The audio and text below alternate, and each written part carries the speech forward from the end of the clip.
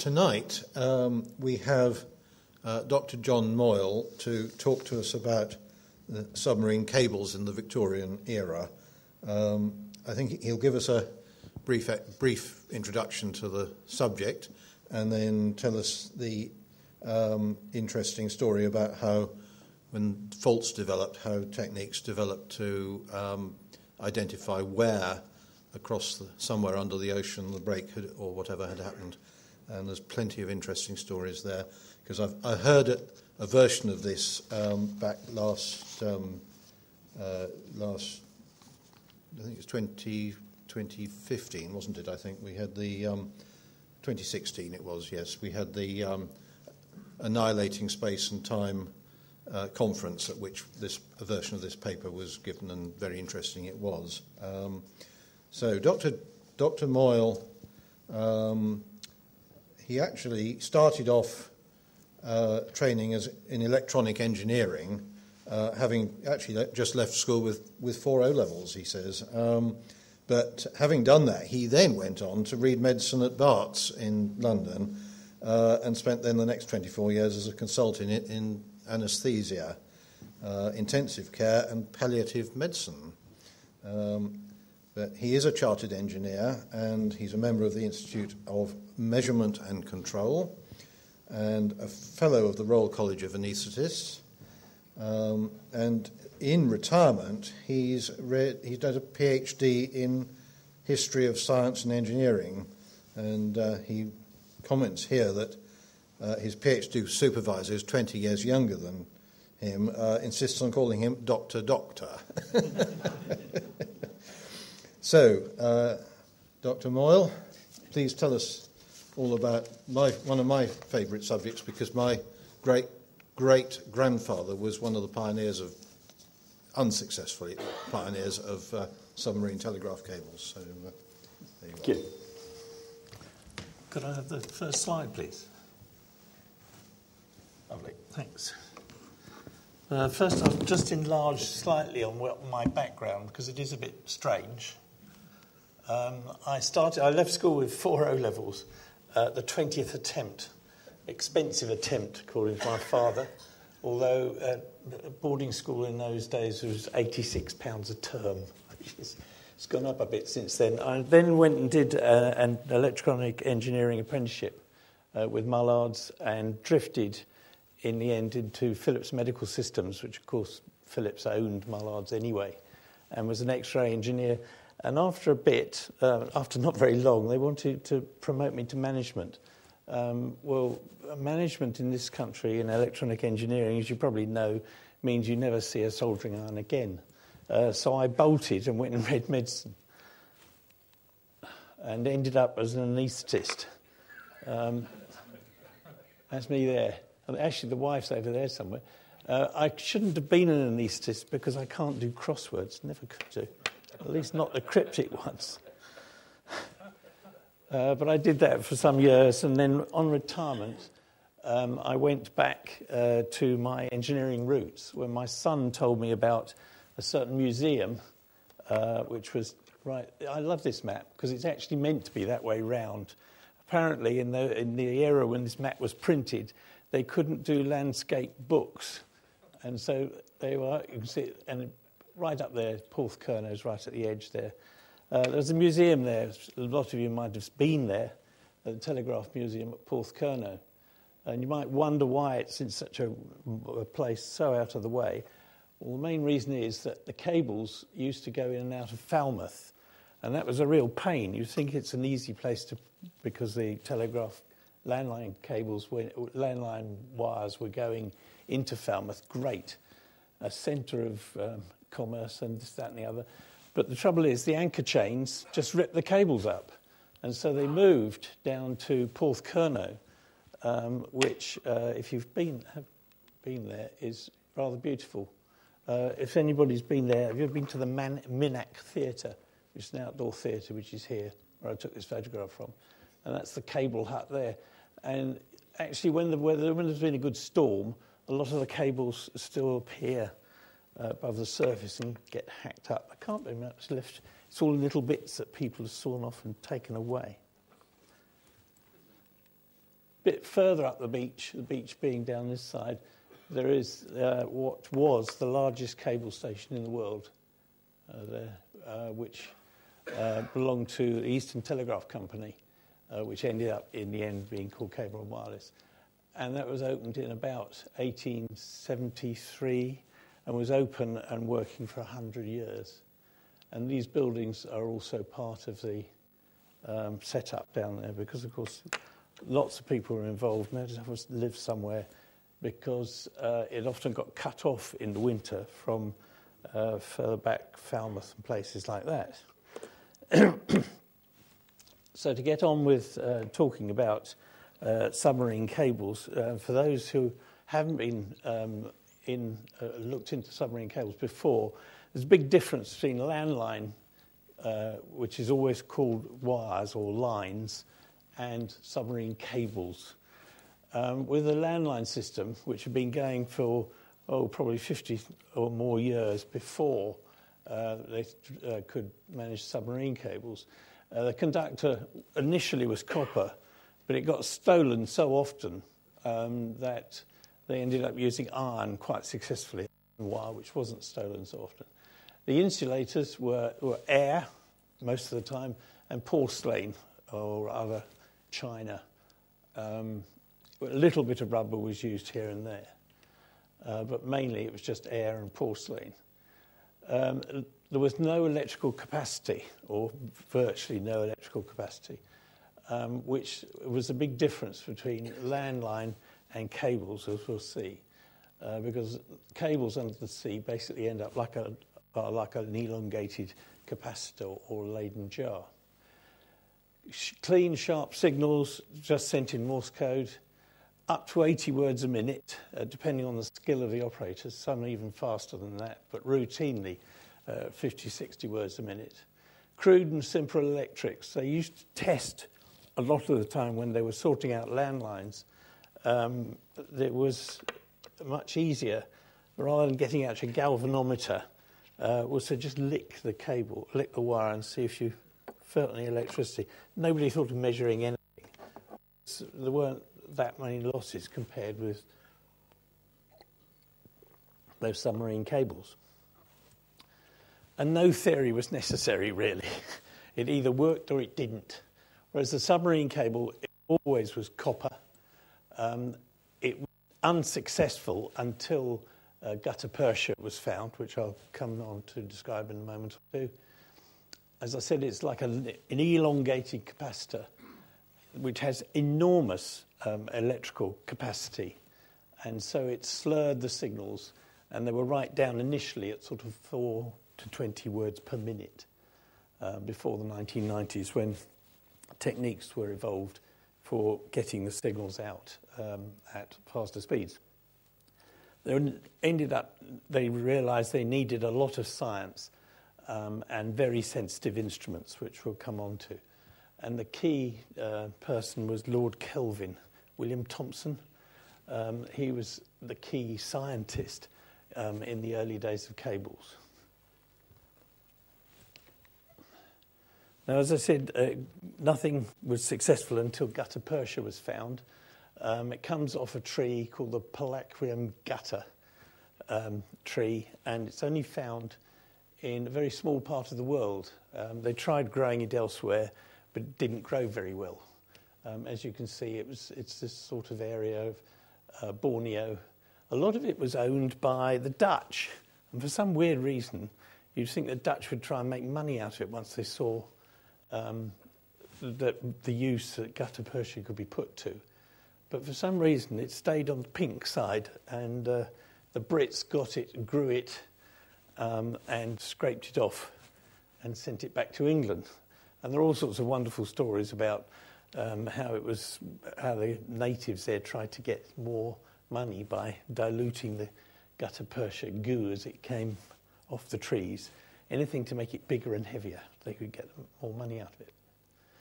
Uh, this is the, probably the commonest picture you'll see, uh, an engraving of uh, getting gutta percha. Obviously, it reminds you um, that it, it's the same method of getting this gutta percha goo, rubbery stuff, as getting rubber. um, there's a bit of artistic license, as you can probably see, and license is the wrong word, eroticism maybe, and that's why this engraving is the one that's always shown. Unfortunately, this is more accurate, that they'd fell the wretched trees um, and get bark off in that way. And you could actually get gutta to a lesser extent out of the leaves as well. And this it, very destructive method was used initially. And it wasn't until they realized they're going to need so much of it um, and there's such a small area of the world that they reverted to, that they went back to getting it off the trees in the same way as to get rubber off the trees.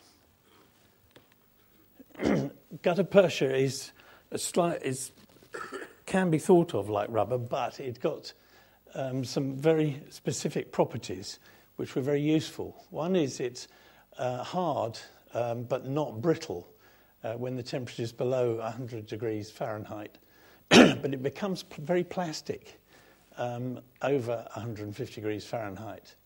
Uh, so it was easily moldable and much more easy to uh, make a, a, circular, circumferential, uh, tubular um, insulator than rubber was at the time. Um, it has a, an enormous resistivity and um, it had an extremely low coefficient of thermal expansion and contraction. And also another strange property in that its insulating properties improved as the, the cable went down, in other words, more and more pressure, which always seems a bit bizarre to me. Initially, uh, when they first started laying cables with it, um, they didn't put any armouring on it at all, and it was just no, what we would now call the core. In other words, it was copper wire uh, with a surrounding of this um, insulating material, gutta percha. Um, there's another talk I can give sometime about the manufacture of the cable um, and the laying of it. Uh, but basically, um, initially it was just gutta percha on wire, and they had to put weights along it to get, get it up to stay on the bottom. And this was real blue sky stuff. It had never been done before, never been dreamt of before. And for some years, it was always that way. So it always amazed me how they managed to raise money uh, to get um, to progress the thing when it was so unsuccessful to start with. So the first one that was laid uh, was a failure. Um, one of the reasons it failed was that a French fisherman hauled some up um, by mistake and cut a chunk out of it. And he got this black thing with copper down the middle, and he took it down the pub um, in France and told his mates that he found a snake with gold down the middle. Um, that didn't help, uh, so they all, uh, was needed straight away, and also a lot of publicity. So the first one was a failure. Then they had some success with these reasonably short lengths um, across uh, the English Channel. So they thought, well, what we really want is to get it across to the New World. Um, and so the, the number of attempts at laying Atlantic cables, and it was a failure. Um, the following year, it worked for a few, for a little while. Um, how they managed to get the money, which was in, enormous amounts of money to do this, um, how they managed to get it a year later when the first one was a complete failure, and it had never been heard of before. Uh, goodness only knows. So that, that was not a success. Then there was the Red Sea debacle. Um, more than getting connecting to, the, to North America, we were much more interested in those days in connecting um, to the jewel in the crown, which of course was India. And in fact, uh, to get um, to a cable to India, all you really needed to do, the only undersea bit, uh, was um, across the channel. Uh, so, and they'd been reasonably successful with that. And then from then on, um, it could go overland all the way across to India. Um, they realized that um, this was not entirely safe um, because it had to go through enemy territory on the way, and you couldn't send any secrets down the line, and all sorts of things uh, went wrong with doing it. And, but initially, um, it reduced getting a letter from London to India from several, some months down to about six days, and it improved steadily after then. but what they really wanted to do was to get, it, get the cable right the way across to India, not going through enemy, in inverted commas, uh, territory. And the big, they were reasonably successful uh, to start with, uh, getting it across uh, down from, um, from the UK uh, down to uh, Carcavelos, which is near Lisbon, down to um, Gibraltar, Gibraltar to Malta, Malta to Alexandria, and then by whatever method they got at some stage to go down the Red Sea. and this is where the government caught a very large cold um, because they told, they gave the uh, company that was laying it a good contract uh, that lasted uh, for some years, 10 or 20 years, whatever happened. And they stupidly said, what we'll do is we'll give you a bonus if you don't use as much cable as you thought you were going to do. And that was a disaster um, because they hadn't surveyed the Red Sea very well, and it is full of coral mountains. And they ended up, and because they wanted to use as little cable as possible, they stretched the cable from peak to peak. They didn't realize they were doing this. And of course, it kept failing all over the place. And so it was, in fact, a disaster financially for the government. But then there was the Committee of Inquiry um, set up by the government, the Board of Trade, which basically was to decide whether or not one should carry on spending these vast sums of money on cables. um, and it, it was, a, a, in fact, a very good committee. There were all sorts of things that uh, one could complain about it, um, and they did. But the thing that clearly came out of it, even though it was, and it was government um, who set this up, was that this could be a very successful uh, way of uh, getting signals across the uh, large uh, areas of sea.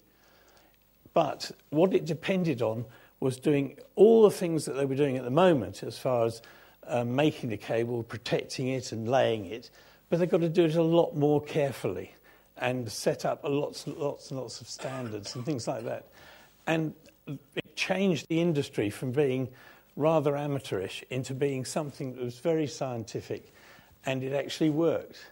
At the same time, uh, the British Association for the Advancement of Science formulated um, a papers about electrical standards of units, especially the unit of resistance, which was going to be the most important thing in setting up these cables and also in maintaining them.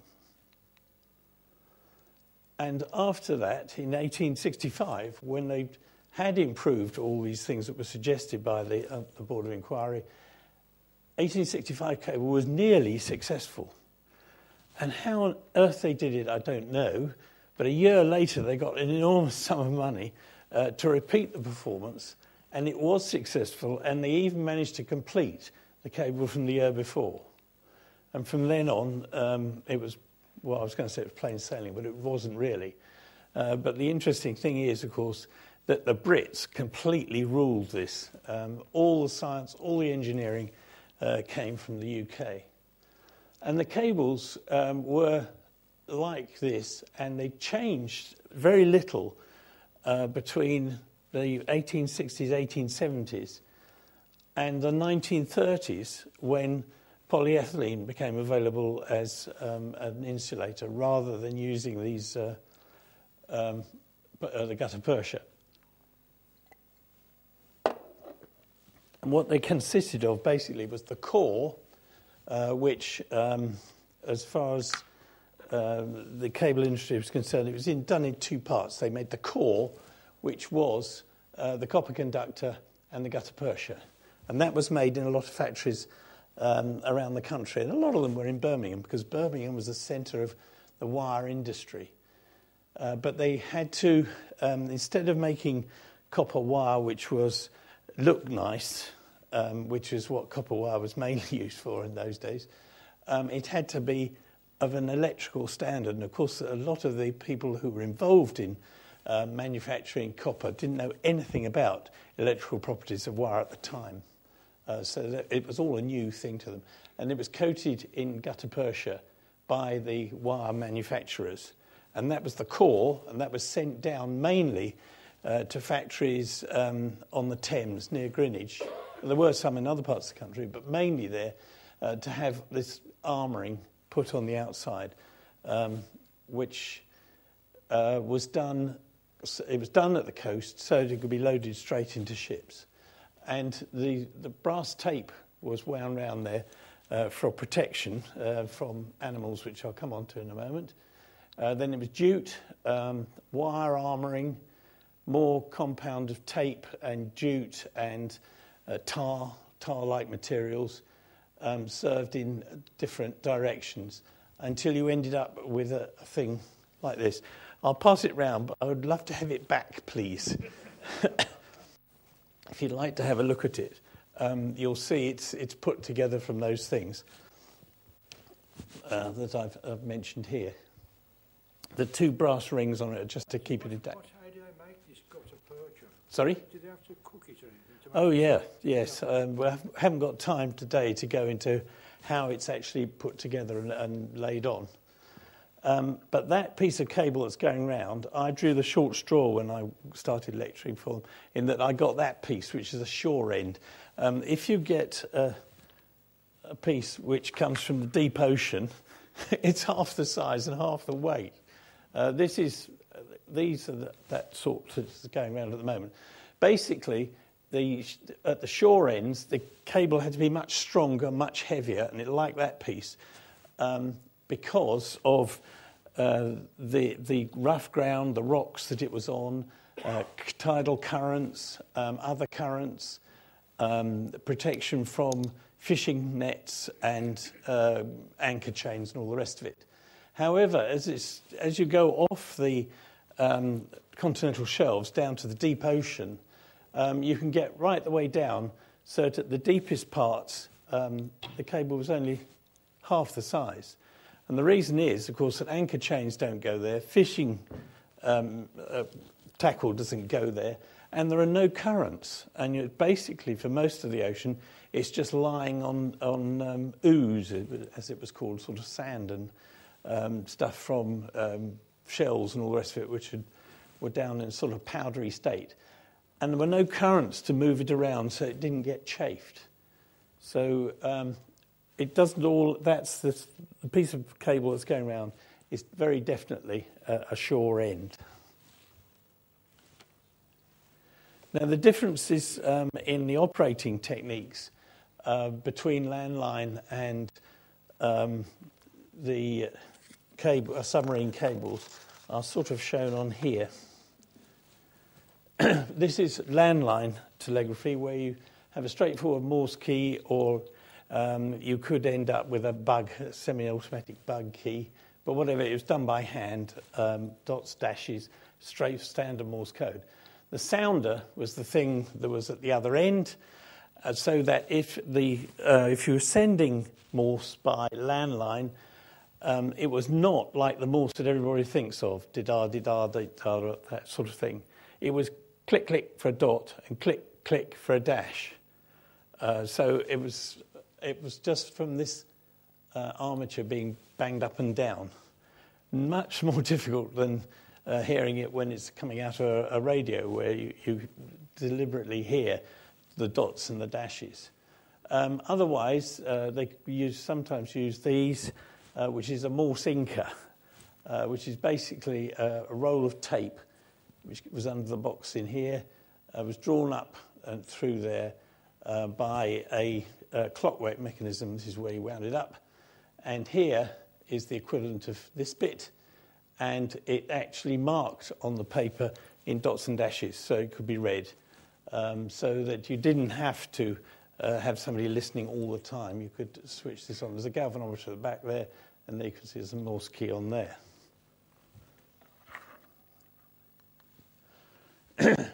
Submarine telegraphy, much different, much weaker signals. Um, they used a thing called a cable key, which I'll come to in a moment. Um, and the signal at the other end uh, was very, very much weaker, and you couldn't use a sounder for it. You couldn't even hear it on earphones. and they used a device called a mirror speaking galvanometer.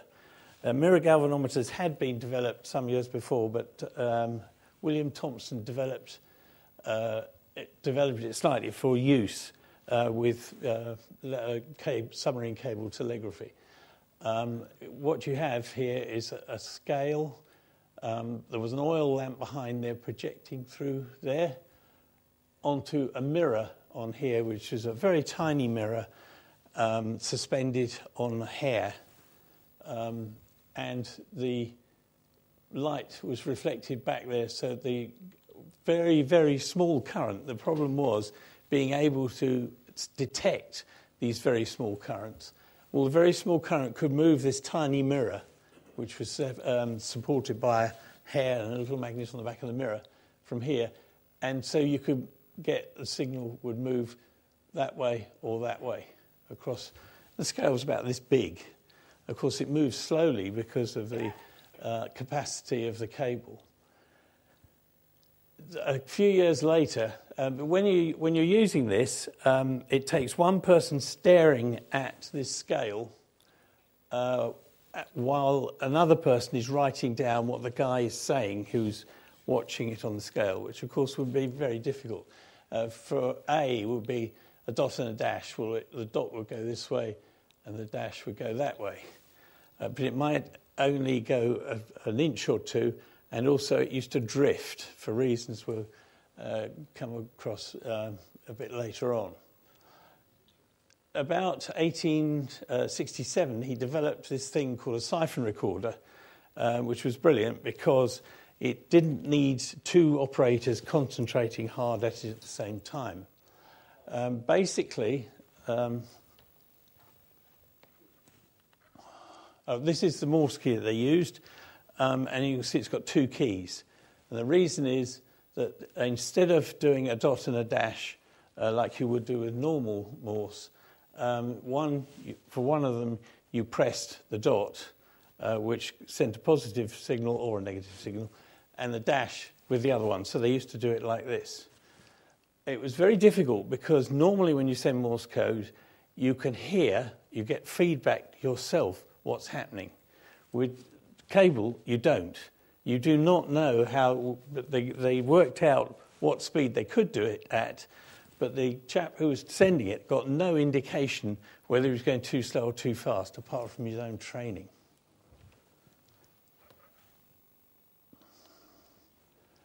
And they used a thing called cable code rather than Morse code. It was Morse code, but um, when you send uh, Morse normally, for example, an A, um, that would be is a dot and a dash. Um, so you get a dot, and the dash is three times as long, and the letter space is, is like, so it's like that. Cable code, you don't. The elements are all the same length, but in two different polarities. So for an A, it would be like that, and for, uh, for the dot, and like that for the dash. So it was a completely different method, a way of sending uh, Morse code. And the problem was that the longer the cable, the bigger the capacitance, and the worse, more it got slurred. Uh, for example, if you look at this one here, um, a lot, this uh, five is just five dots in a row, uh, five dots in a row.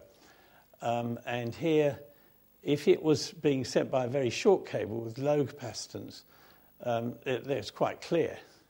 But if it was medium length, it's getting more and more blurred. And if it's a very long cable, like crossing the Atlantic or even worse, the Pacific, it, you could hardly see them at all. If this is an L, which is a dot, a dash, and two dots, um, it's, the, got the same problem. So the short cable um, is easy because you can see the difference between, you can see there that there are two dots and one dash. And, but as it gets longer and longer cable, um, it gets more and more blurred out. But if you can see, um, it may, okay, there were two, if that was one dot. If you sent two dots, it would actually come up to a higher amplitude overall. No, no, not on the transatlantic, because it was way before uh, repeaters were available. They didn't come in until uh, the 1900s, um, 1920 even. Um, this is a siphon recorder, um, much enlarged. This is one at Porthcurno Museum, and you can see the paper tape there drawn through here. Um, and it was a very cunning contraption, um, which I don't want to spend too much time on, but the basic principle was um, a moving coil here between in a powerful magnetic field uh, with a, held with a fine um, fibres. These two weights here kept it in central position. The problem was you wanted no friction because the signal was so small. So the cunning way they did it was that um, this was a connection from, as that, this would move, this, this coil would move, um, it would wiggle this thing here, which was a fine um, um, siphon, a fine capillary tube coming from a pot of ink here down, and the, the paper would come along here, and this would wiggle across here. But the pen was not in contact with the paper um, because that would induce friction. Uh, so what you had is this thing here, which they called a mouse motor for obvious uh, reasons. You know, the poor little mouse isn't in there; it's driven by electricity. So there was an electrostatic current induced through here, down here.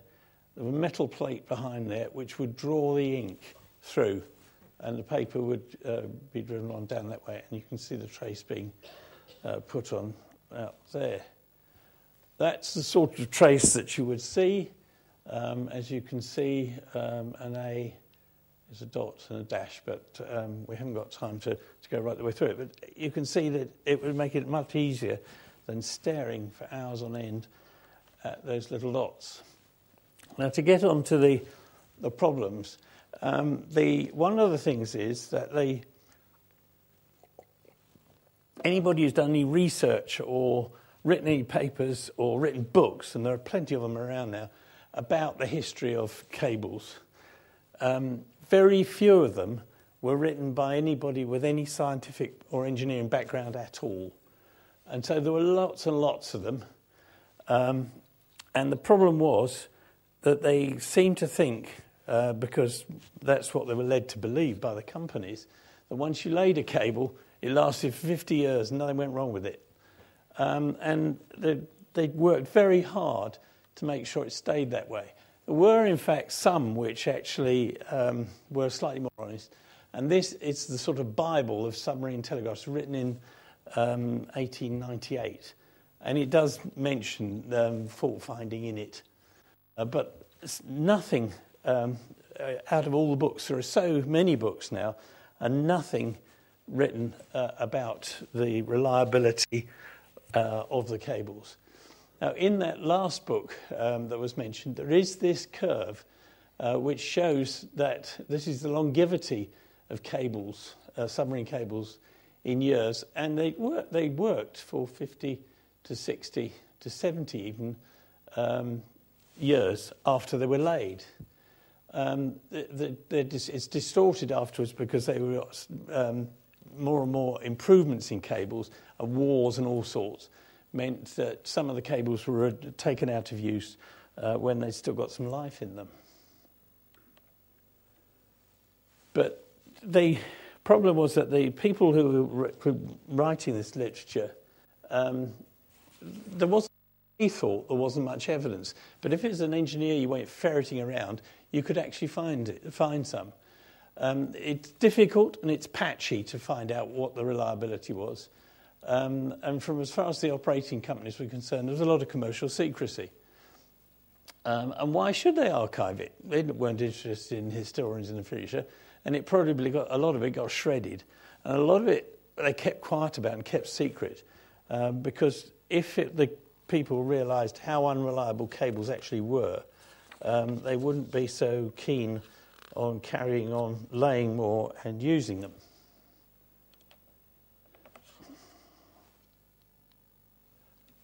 But if you go ferreting for the evidence, it's there. the first, a lot of it is so obvious too. Um, Haigh wrote some wonderful book, uh, uh, which went to two editions, uh, called Cable Ships and, uh, and Cables. And he lists every cable ship there was. Now, if there was, um, and, and which company they worked for and what they did, if there were the number of cable ships around that were in there in his book, then there'd be one cable ship per cable that was laid. So it was quite obvious that a lot of these cable ships were not for laying cables, but for repairing them. Other evidence, um, which I found at um, Porthcurno, uh, the Eastern Telegraph uh, books, um, minute books, are all stored there. Um, and fortunately, uh, John Pender, um, who put a lot of, an awful lot of money, he was a cotton magnate, into um, cables um, and ran the company. And he was always interested in what his ships were doing. And so every month um, in the minute books, he says which cables are being repaired and how long and what for. Uh, so I put together a spreadsheet which had about oh, it was about 5,000 lines in it of cables, uh, cable work by the various companies and various other sources that I found it from. Um, the Eastern, uh, a lot of the uh, repair work was done by another company, which in the end was part of the Eastern Group, and that was the uh, Telcon. Um, and their company engineers' logbooks um, are in the National Maritime Museum and I got it them there down at Greenwich. The Eastern Telegraph Company initially uh, was formed from these four companies, so it, and every time uh, somebody thought of laying a new cable, they laid that cable, um, but with the, and it was the same people from Eastern Telegraph who were doing it, but they set it up as a separate company each time because they, it was, um, it might fail financially. He didn't want to take the others, uh, the rest of the company down.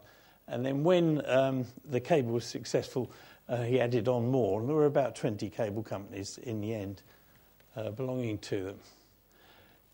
The professional press is another source of the information. Um, but as you can see, the electrician and the electrical review, uh, guess who the proprietors were? Um, he was uh, part, he was on the board of Eastern Telegraph. He actually laid uh, the cables uh, across the Atlantic as well um, on the Great Eastern. And the proprietor of this one uh, was the chairman of ETC. So, how honest they were, goodness knows. An interesting feature, um, I also looked at the Times um, to see what the general public knew about what was going on. And uh, the Times is this grey one here um, and reporting malfunction in the Times almost disappeared altogether. The reason for this was that they laid lots of duplicate cables so that quite often um, a cable would go down and they could shove all the um, data that was going through that cable to another cable, and the general public wouldn't know about it at all. Um, otherwise, uh, this one here uh, was stuff I found in The Electrician who reported it weekly what was going on. Uh, but overall, it was a lot of cable uh, failures which I found which were hidden from uh, both forms of the press. Another thing which um, the, the authors of the books, history books, missed out upon are the fact that there are all these textbooks about how to repair cables, um, which I wouldn't have thought you would miss um, if you were an engineer. Um, but as I said, it wasn't engineers who were writing the history. what it boils down to um, is if we look at the repairs by ETC, um, the total, if the, the green line shows the total in nautical miles that the company had laid, and the other graph, the red graph, shows the malfunctions. And if you look, actually little change in or improvement in the reliability of the cables over the period I looked at, which was the Elizabethan, uh, which was the uh, Victorian era. And a lot of those ups and downs, what in the heck's that were they all about? Were they to do with war? But no, you, are not expected to read all those, but those are all shows how belligerent a nation we were. And we were at war virtually continuously during the whole period. Um, so it's obviously some sort of statistical thing, not enough data, um, that there are those rise and falls. which basically uh, works out at about approximately uh, one to two cable repair voyages being required for every 500 nautical miles of cable. So they weren't very reliable at all.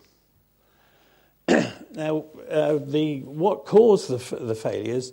Uh, first one has to um, come up with this horrible word called malfunction.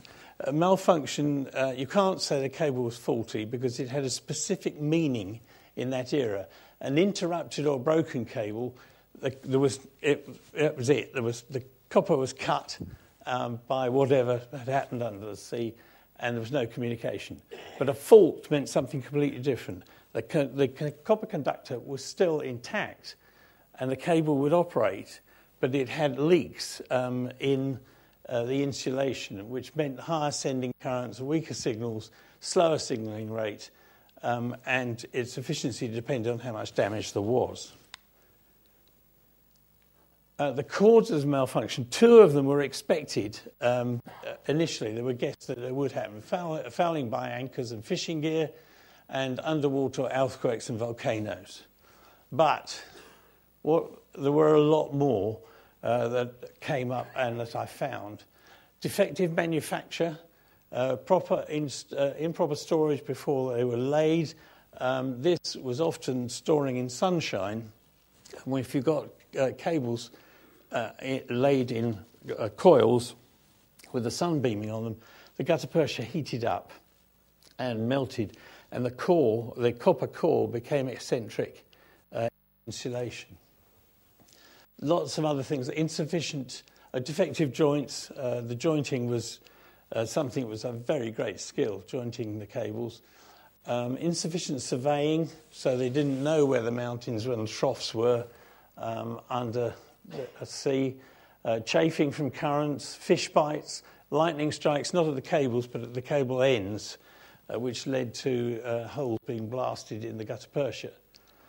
Um, lack of slack. Uh, with a deep cable, they had to lay at least 20% extra, and with a shallow cable, 10% extra. Uh, to allow for the undulations under, under the sea and also uh, so that you could pull the cable up to repair it if necessary malevolence, it did happen, and submarine boring animals um, were a complete menace. Um, and the, the biggest of these boring animals was called the Teredo navalis. And he's the little fella uh, who ate the bottom of wooden ships. Um, hence, it's often called shipworm, even though it wasn't a worm. It got the name cable borer as well, and in, in the Far East it was called tamilok. And tamilok was deep fried uh, navalis, which shows just about the size of the. It, they weren't actually worms, they were sort of bivalves. But they were a complete menace. And this was one of the reasons uh, for the addition of that copper, of the brass tape, because he couldn't get his little choppers through the brass tape. He wanted, the, he wanted to eat the gutta percha uh, which was in the middle. But the brass tape, which cost a lot of money, uh, stopped him. That's the origin of copper bottomed, the phrase copper bottom, because they could put copper bottoms on the bottom of the wooden ships, um, and uh, they didn't keep sinking uh, because of that. So, when a malfunction occurred, um, the first thing to do was to reroute the signal.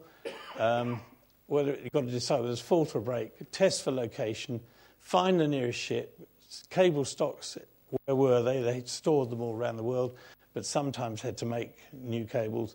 And then they had to effect repairs, and all this uh, had to be hidden uh, from the general public. Um, not just the general public, either governments as well.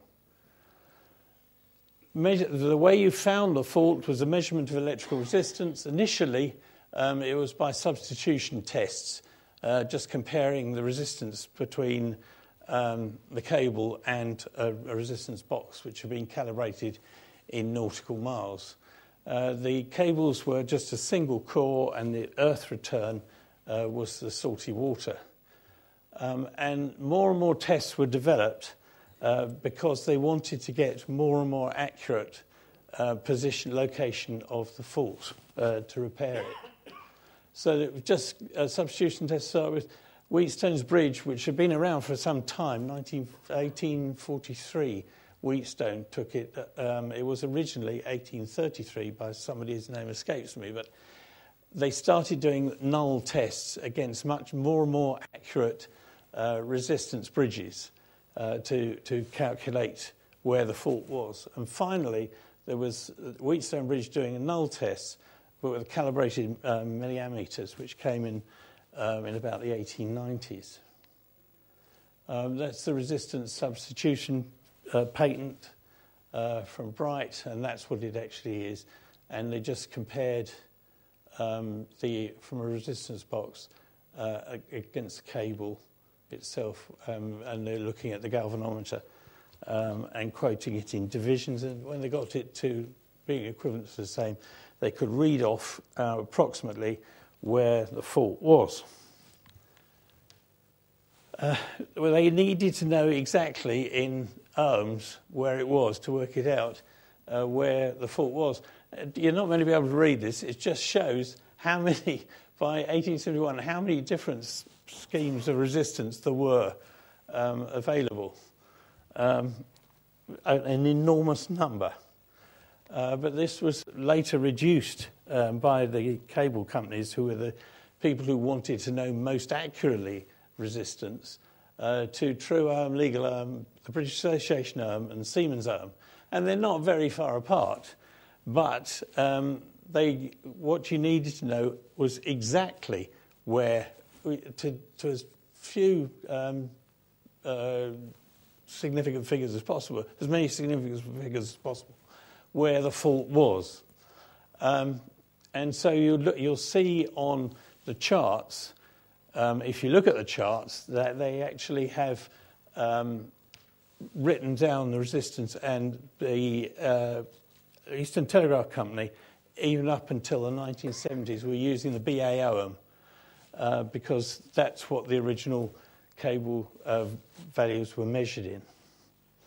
Uh, if you want to read about the history of uh, the resistance, there's a very good paper, Ohm is where the art is.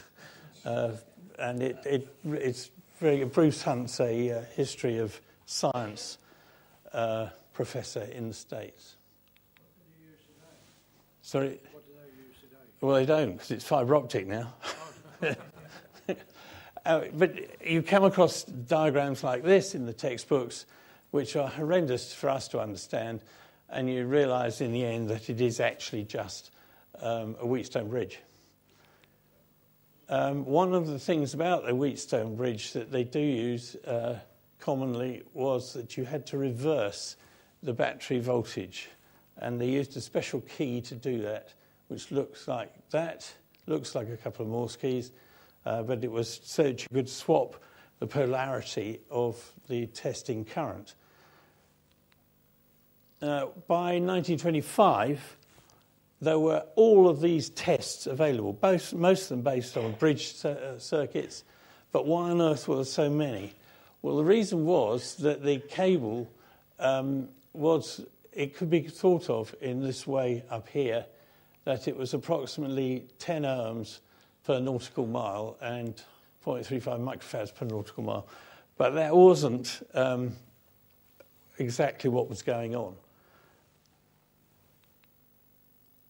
Simplified, um, looking at um, the arrival curves of the current, which was shown in the last graph, which is I didn't ex- explain because it's so awful. Uh, this chap Francisco, unfortunately, has redrawn the thing completely.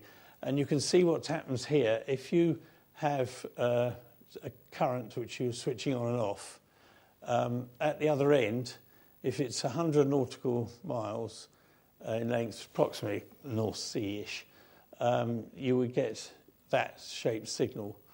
And um, that point there would be at about six seconds. Um, uh, it would be about five milliseconds. Uh, 2,000 miles, which is approximately the Atlantic, is two seconds, and approximately across um, the Pacific, it's six seconds. Um, so it's, it's so difficult to measure because everything would be drifting the whole time. And if you look at an equivalent circuit of um, one of these cables, and if you imagine that the cable, th- this bit here appears in mirror image this way, and this is where the break is, what you've got here is that resistance I mentioned, which is you thought would easily find you where the fault is, of 10 ohms per nautical mile, um, with a capacitance uh, here, which makes it um, drift up and down so slowly. But it's worse than that. Um, it's much more complicated than that uh, because you've got an earth current the whole time. Um, so, depending on the state of the moon and all the rest of it, um, the sea return changes its resistance slightly. Uh, the dielectric resistance of the, in other words, the leakage of that capacitor there changes. And worst of all is this thing here, which is a cell, an electrical cell, battery, if you like, um, formed from the copper, the brine, and the iron cable, uh, the iron sheath. And that's about 0.3 volts. And all those things screw up any measurement you're trying to make of the resistance. Also, um, I mentioned that you reverse the voltage uh, when you're making these tests, these resistance tests. Um, the problem is that it changes the whole time. Uh, quality of the earth as well, but over here, um, as you change uh, the polarity, so the resistance changes, let alone from that as well. Um, if you pass a current uh, through a faulty cable, uh, it in one way, when you first measure it at one moment, you'll get the, the best result, um, which is, at, we'll say, at time naught. But very quickly, uh, if you've got the positive side connected to the line, um, you get cuprous chloride deposition on the end of it, and so the resistance goes up. And if you reverse it, it also goes up by tiny hydrogen bubbles forming as well uh, to increase the resistance. The sort of test bed that they use um, is like so. Uh, this is the one at Porthcurno, and this bed was made uh, in about 1880 and has changed very little since. Uh, this bit here had been improved. This bit here is the galvanometer, and that was made in 1888, and was still being used in 1970. And that's, you can see the scale um, that it was, would uh, be measuring along the, and here was one of the uh, ammeters stuck on the end of it, uh, which was the, the, sort of latest stage. There was a number of tests which I won't go through, but they were all combinations of things using uh, a Wheatstone bridge. Um, and the more complicated they made the tests, the nearer and nearer they got to the actual value of the fault. And as an example, this is a cable that went from Lisbon down to Pernambuco, which I couldn't find on a map, a modern map, uh, because it's now called Recife. uh, but the fracture, it was a fracture, was about here along a length which was about 1,800 nautical miles. uh, it was there, as you can see, there, it was over um, a, rock, a, mountainous area in which they didn't actually know about at the time. Um, the information about the that I found, and I use this as examples because there was a lot of information about this particular fault in all sorts of sources. Um, initially, the problem was to, to find, having got the resistance, uh, where you say you could calculate uh, where, the, where it was uh, along the cable on the chart, um, you then had to try and find it. Um, at the time, um, the passage charts, as they were called, were very crude. You had navigational charts which are drawn um, around uh, land masses so that ships don't hit them, but the deep ocean had, they were called um, a passage chart, and they were very inaccurate. And a half mil pencil line represented about one and a half kilometres on them. Um, there was only dead reckoning the accuracy of compasses was not good. Astro uh, navigation was pretty good, uh, but it's still within um, a maximum accuracy of 0.1 minute of arc. Um, bathymetric navigation, the accuracy of soundings was done by weights on the end of a piece of string um, in, in the time when this uh, actually occurred, this fault actually occurred. But they found it within four nautical miles. They then had to grapple it. Um, they pulled, they actually used the, the one that's on this side here with these teeth um, to haul the cable up. And what you had to do is haul the cable up, find out whether the fault was there, uh, whether you'd gone past it or not. So you had to cut the cable, do the measurements in both directions, put them back together again, and sink it down again. And they did this, but it was so deep um, that they actually uh, had trouble hauling them up. It was 2,000 fathoms, and when they tried to pull it up to even measure it, it snapped. Um, and so what they did in the end was they pulled it up uh, a bit and put a buoy on it, and then went and pulled up the rest of it. So it had, there was less strain on here because you have to remember that the cable had a tremendous weight trying to pull itself back down to the bottom and they used a dynamometer to discover what was happening. Once they'd hauled it up, they cut it, and if they were lucky and found the fault in exactly the right place, the two ends of the cable uh, were attached to this uh, cable jointing rig, um, and then a very skilled workmanship to put the cable, put the new piece of in in um, and cover it and recover it with gutta percha and recover it with all the uh, linings to protect it. Um, and putting in all those wire, those steel wires again. Very skilled job because once it had been thrown overboard, it would cost the earth to get it back up, find it and get it back up again. And that's uh, the position it was on the chart. The original cable on the original chart shows this cable here and this bit, they've had two different measurements from each end and couldn't work out why. And the reason was um, that there were two breaks, um, and it was probably because of a volcano or an earthquake, uh, submarine earthquake, and they had to put in that length of 83. They, miss, they use the word knots wrongly in a lot of places. Uh, they're using it there as nautical mile, which they also use as they use the word naught. N-A-U-T, naughts. Uh, of course, nautical mile, uh, knots is one nautical mile per hour, so it's, it's wrong usage. This is, I put, plotted it on a modern chart, which shows how much better the modern charts are. And of course, since then, um, since the cables, that, uh, there's a lighthouse there now, not far away. But that's where this piece of cable was put in. So, in summary, for a major break like that, there was a delay caused by lawyers and all sorts of things because the cable at the time was not owned by one of the major companies. Uh, they had to manufacture spare cable. Um, the Thames estuary to uh, St Vincent um, uh, was 11 days, um, and the cable ship, it was put on the cable ship, it took 11 days to get to the site. Um, and it was on the ground, as they call it, where the fault was by the 16th, it's another week later.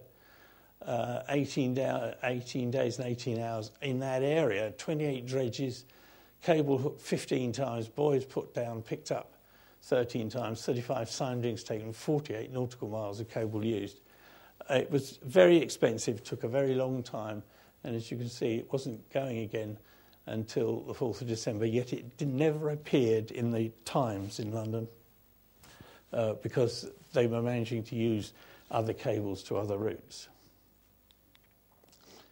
Well, I think I've talked enough about um, the basic things about cables and how expensive they were to repair. It would be another talk, another time to uh, talk about the manufacture of the cables, how they actually laid them.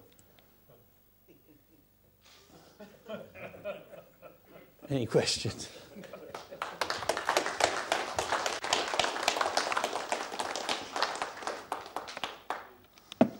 Right. As, as usual, um, there's the opportunity for questions now. Um, the, there is a roving microphone There's two roving microphones, and I would be very grateful if you could get hold of one before you start asking questions. Um, just to warn you, we are, as usual, trying to video this uh, lecture, uh, and it, if it, we get a successful recording, it may in due course appear on YouTube. So if you don't wish to be known to be here, then keep, keep quiet at this point. But, uh, but uh, uh, so uh, I think we've got one, one there. Thank you. Thank you uh, very much. Very interesting talk. Um, I was thinking when these chaps were out bobbing up and down on the sea trying to find the cable, get, getting it, fixing it, once they've done that job, how did they know that it was working? And how would the information be transmitted to them to say, yeah, it's working now? Because um, once you pull the cable up, um, on board the ship, there was a cable station, a miniature cable station, and one of those test boards, just like the one at Porthcurno. And they could converse with either end. Um, uh, usually, in, the, in this case, only one end could they talk to. Um, they, when they were coming down from, um, uh, from St Vincent's, they could still, when they pulled the cable up, they would cut it and talk to St Vincent's um, cable station to say, you know, is the signal good here? And then they'd look at the other end. Uh, hopefully, they could contact the other end, but they couldn't at all. Uh, so what they had to do was um, put a, buoy it, um, put a, a, new piece of cable on, and go off down a bit further. And they'd have to pull it up two or three times until they found out where it was. And each time they pulled it up, they cut it and have a listen. Um, and of course, because there was a, a fault further on, uh, when they brought, pulled it up again, um, when they cut it, they found that they could still couldn't talk to Pernambuco, but they could still talk to St Vincent on the French, fresh piece of cable they were unwinding from the ship. And it went on like that until when they picked it up, they could converse with Pernambuco, and then they joined the two ends together. Can I ask a bit more then? Yeah. So they've got the two ends connected. How do they then know for absolute certainty that that was speaking to that? Uh, once they joined the two, bit, they got signals from both ends, joined them together, and did them up, and then they had no idea. they didn't have radio at all. But it just shows how important the skill was of the guys who were actually putting it together. Uh, because if they'd uh, joined it, they, they were a, a, group on their own, specialists. Um, they join it and toss it into the ocean. And of course, if it didn't work, um, they wouldn't know, and they'd have to voyage back to find out what had gone wrong. So they couldn't, basically.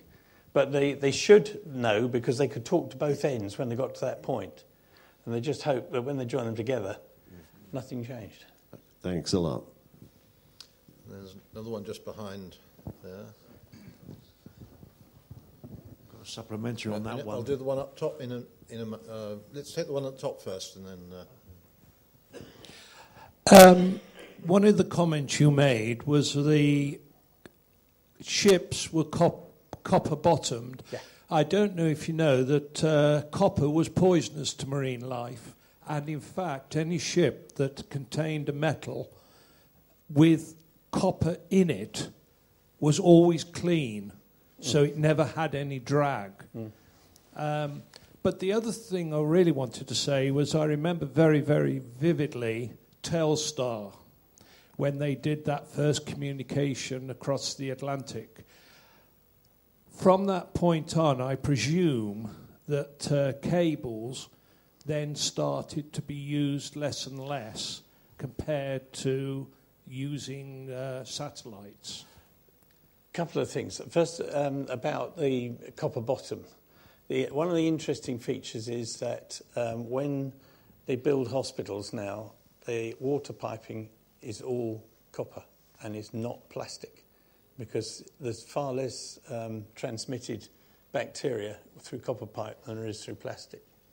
Now, the interesting thing about cables and satellites, um, the cables uh, ruled the, uh, the world until wireless, and then they, the cable companies got very worried Um, but it was still found that cables were a more reliable form of communication than uh, for wireless. Wireless is brilliant for things that are mobile, but from fixed point to point, cables, they breathed a sigh of relief because the business didn't go down.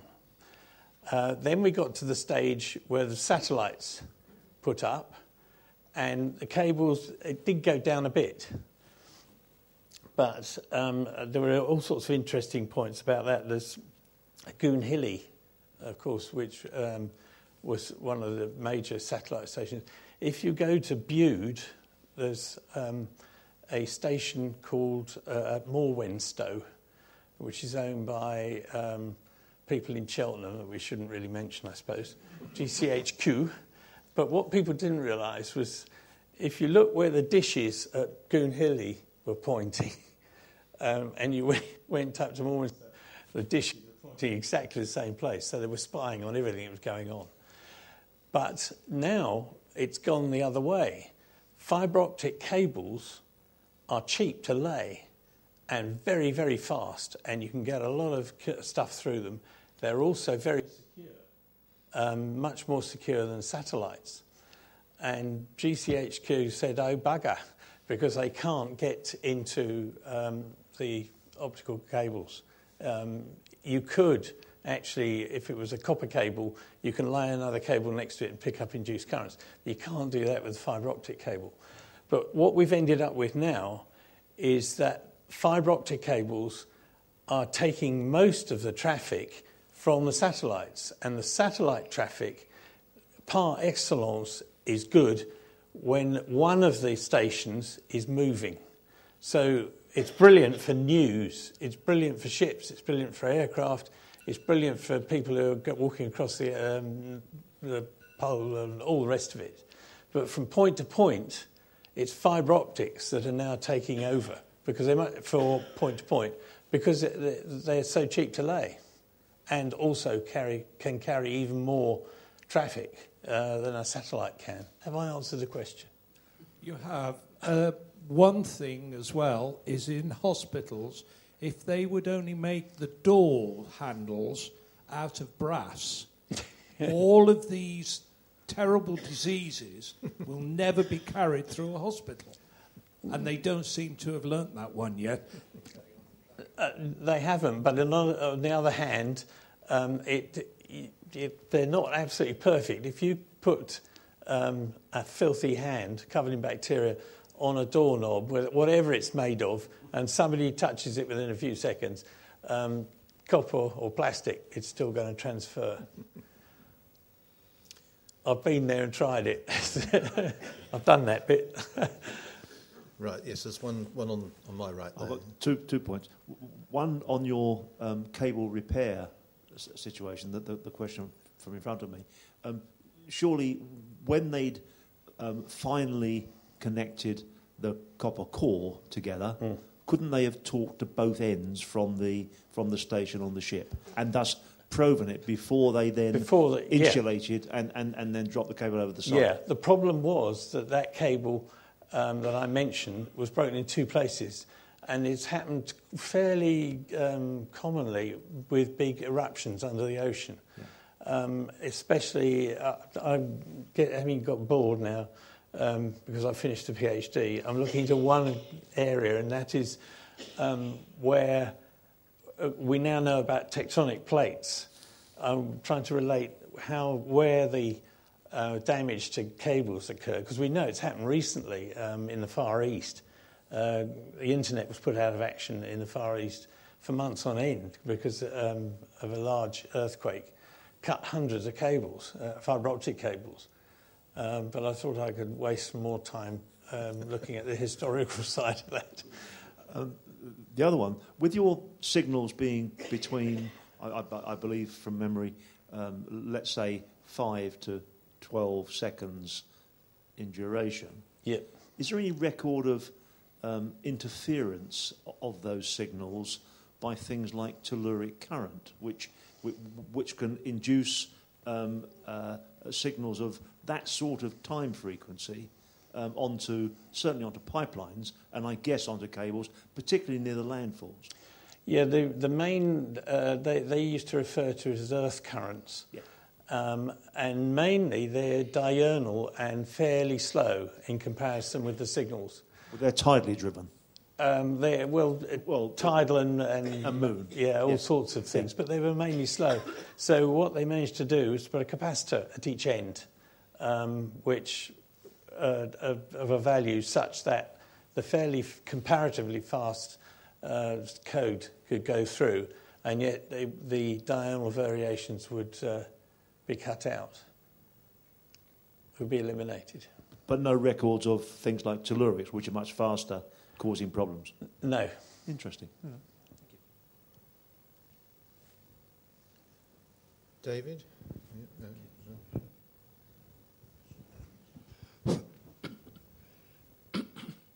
Having been lucky enough on to to have travelled across the Atlantic twice on freighters, and therefore being able to look at the charts as we go and see where all the cables are. Have you any? There's two questions, or two bits and pieces. One is all the modern cables are more or less parallel. When did the, they stop wobbling them? Because the first one I saw on a chart wobbles all over the place and crisscrosses goodness knows what and back again. Any idea when they had the bright idea of making them parallel to make it easier to pick them up? Uh, I think they were trying to the whole time, but they didn't. Couldn't, The first one certainly doesn't. Yeah, the earlier ones, um, they weren't that. Their navigational skills weren't that great. Uh, but now, they could, the, the trouble is now they're laying them almost in bundles, Yeah. and the latest thing is that the Russians could uh, slice them. Because we did, we sliced them very well in First World War and the Second World War, uh, which um, well, there's all sorts of interesting history about the Zimmerman telegram and things. Certainly, uh, at the in the forties, when all the colonies of the European powers were gaining their independence, one of the problems with the cables was they all went back to the home country, uh, and adjacent uh, places which are now freely governing republics couldn't communicate each to each. They had to go back to Europe from one capital to another and then back out again. Uh, and that was a big problem. Well, in the, in the Victorian era, we owned most of the cables. Yeah, but there was also the French system as well as ours. And Yeah. That sort of thing. But uh, going back to your other thing about uh, anchors, I noticed uh, coming into Mar- Marseille, there's, for about two or three kilometres out of Marseille, the whole area is marked "Do not anchor here" because of submarine telegraph. And there's one over there. Yep. Thank you. Um, yes, picking up on a, a couple of. I don't think you're switched on. Sorry? Is it switched on?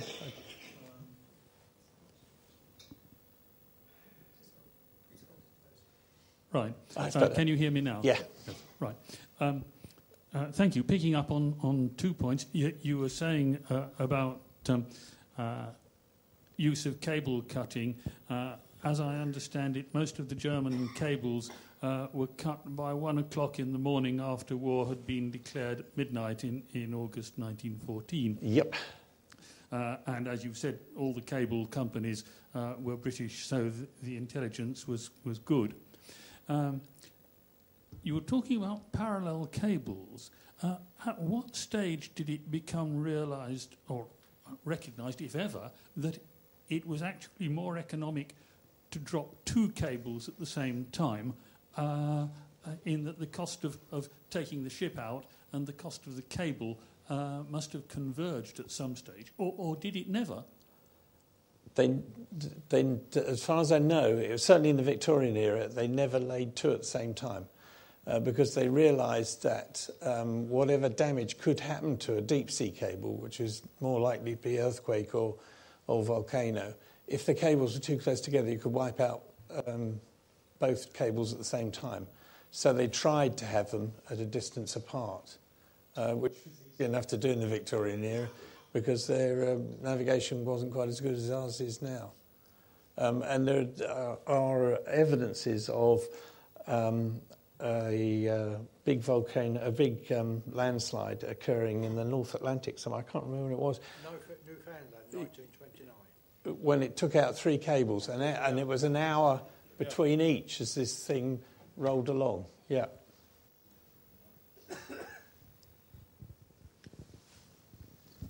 Yes. Thank you. Okay. Uh, I worked for an American company in the uh, early 1980s, and they provided a database service. And in order to get that to our UK and European customers, we rented bandwidth on a cable.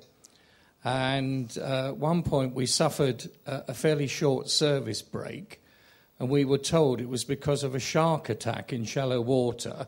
And we were further told, I didn't really understand it at the time, there was something about the cable, whether it was smell or an emission of some electrical current that actually provoked the shark. Is that possibly true? Yeah, I've got uh, in the PhD thesis I wrote, I managed to find some um, diagrams of how sharks got tangled up in the cables, and it happened more often um, than one would expect. And as you say, it's probably due to uh, change in magnetic field around the cable. There's a bloke called Bruce Heezen, I think, has written several papers on it. He died in the 60s, 1960s. Thank you. Um, but in the thesis, I've got some diagrams that he drew of. Uh, they often found uh, animals' teeth in the cables when they did pull them up, uh, where, where, where, where there was a fault because they hadn't actually broken uh, the copper, but um, they had to bring the cable up because the insulation had gone and it had a tooth in it. One on, yes, at the back there. The early transatlantic cable layers presumably knew little about the topography of the seabed across the Atlantic. Yeah, So there was. did they have an empirical method of the amount of cable they laid out? Well, they did. Um, they surveyed. They learned very soon. They got to survey uh, the, the routes that they were going to take. Um, but of course, they had to do it by letting down. It was piano wire they used, actually, not a piece of string, as I mentioned. A, a, a device right down to the bottom, to a proper sounding. It also sounded the bottom. It brought brought up a, hel- you know, a handful of whatever it was going to, uh, whatever the, the bed was. But to do that in the deep ocean would take two hours, two or three hours to let the thing down. Um, and of course, it got more and more inaccurate as it went down because you were weighing the cable as, as well as the, weighing the wire as well as the weight on the end of it. So they, they were obviously, they did it uh, 10, 15, 20 miles apart. And they missed all sorts of things. And that's one of the reasons that they lay, the deeper they were, the more slack they laid. But they, there was marked on a lot of the charts the telegraphic plateau in the North um, Atlantic. Um, and we've since proved since um, that it, there isn't one. It's got lots of great holes in it. Um, a colleague of mine, Alan Green, um, who's also researches down at Porthcurno, he managed to get um, from one of the uh, big cable, one of the big surveying companies, a chart along the route of cable, um, which showed, with, which is continuous. It's it was done with um, you know sonar, and uh, he's compared it with the original chart uh, where it was sounded every 10 miles or so, every 10 nautical miles. And it missed great, great um, holes. And one of the first, uh, first Atlantic cables broke at some point, and they thought it was a mechanical, you know, they couldn't work out why it broke, it just snapped. Uh, but Alan Green has managed to show that it broke exactly where there is a great can, um, cavern uh, in the ocean bottom when it was measured absolutely continuously by uh, sonar methods. The Atlantic's still opening up, isn't it? It's, well, they're all on the move. It's Yeah. about 10 centimetres a year. Um, it? Yeah, it's, a, it's said to be about the speed at which your hair grows. Well, not Yeah. mine, mine grows anymore, but um, Just very briefly, you, you, there's a museum in Cornwall which I've not heard of, and I'd like to visit it. It's Porth, the Porthcurno Museum. Yeah, it's, it's called the Telegraph Museum. Um, it's well advertised, um, but if you can't find it, um, go put um, Google Minack Theatre, M-I-N-A-K Theatre, and it's about 100 yards away. And that's the theatre cut into the rock uh, where they do uh, plays. Very well known theatre. And it's just a couple of hundred yards away from that. Um, it's open on uh, the weekends and Mondays during the winter, uh, but every day during the summer. Right, thank you. Thank you. When was the last actual uh, cable laid, like the copper, you know, those uh, copper I cables? don't- It's, it's not working. Just hold it nearer to you, nearer to you. When was the last cables laid before they went over to fibre optic? Um, in the, not quite sure. It was about 30 years ago, 30, 40 years ago. The, big t- the biggest change happened in the 1930s when they changed from gutta percha to um, plastic insulation, polyethylene insulation. Um, fibre optics experimentally was about 30 years ago crossing the Atlantic, but now it's just backwards and forwards all the time. And how do they uh, note the breaks in those? How do they know where they are? Ah, they, um, they use a reflectometer method, optical reflectometer method, which is similar to sonar, really, um, in that you send a, a pulse of laser light down uh, the fibre and it will reflect back where there's a fault and you measure the time it takes uh, to, to travel there. Um, so, in fact, it's much simpler to do. In fact, it's not quite necessarily as accurate um, in, in mileage, um, but it's, it's a lot easier to, re- to pull up a fibre optic cable and repair it as well. Thank you. But they, even, even in, they use that reflectometer method um, with radio signal, uh, with high frequency signals, um, even in the copper era um, towards the end, as soon as oscilloscopes came along. Thank you. Okay. Any more?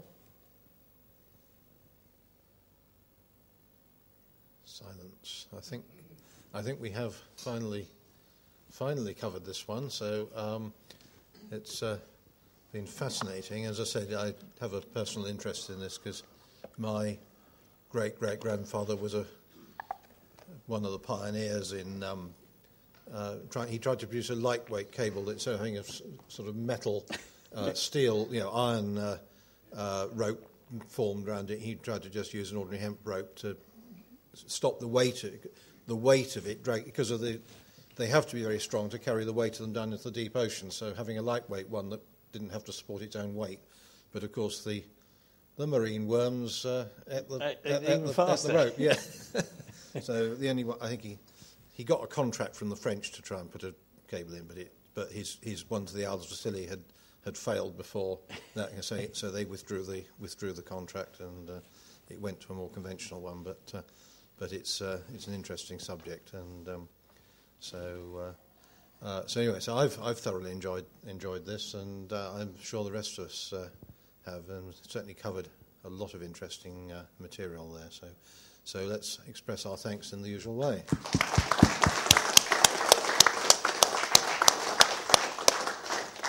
Thank you. Now, with details of uh, February's meeting and so on, I should just see if Jim Renahan can fill us in on those sort of things. Hello.